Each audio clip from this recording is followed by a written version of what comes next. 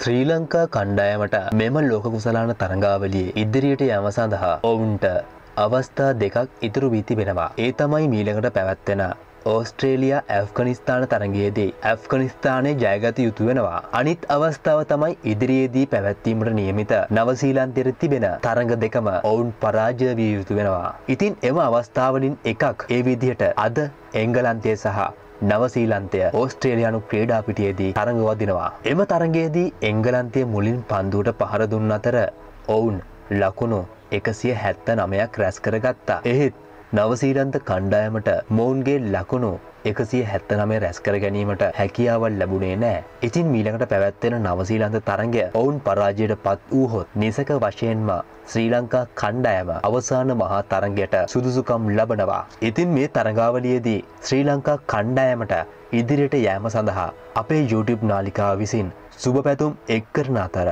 පහත කමෙන්ටු ඔස්සේ මෙම ක්‍රීඩකයන් දිරිගන්වන්න ඔබගේ අදහසත් දක්වන්න අමතක කරන්න එපා.